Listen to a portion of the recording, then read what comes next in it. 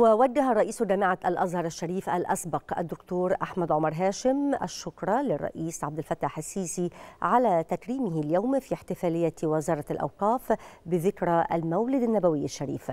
وأكد عمر هاشم أن الرئيس السيسي قدم لمصر منذ توليه الرئاسة إنجازات لم تحدث من قبل وأن الدولة تضع العلماء في مكانة غير مسبوقة.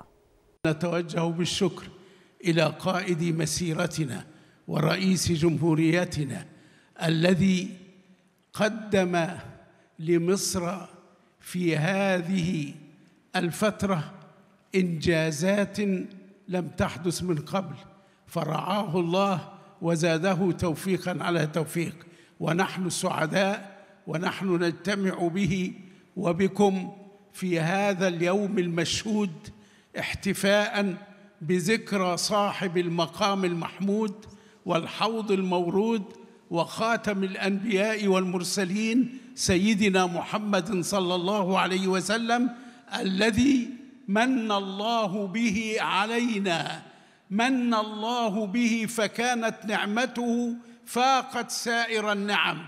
لقد من الله على المؤمنين إذ بعث فيهم رسولا من أنفسهم وبين ذلك أنه قبل خلق آدم وقبل خلق الخلق يقول كنت نبيا وما كنت خاتم النبيين وآدم منجدل في طينته. وبعد أن وجد الرسل أخذ العهد والميثاق عليهم أن يؤمنوا به وأن ينصروه. وبين رفعة مكانته وقال ورفعنا لك ذكرك.